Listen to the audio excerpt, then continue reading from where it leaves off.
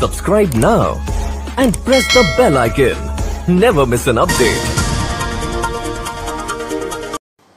नमस्कार, मैं पूजा हटीला। स्वागत करती हूँ आपका पीवी न्यूज़ में।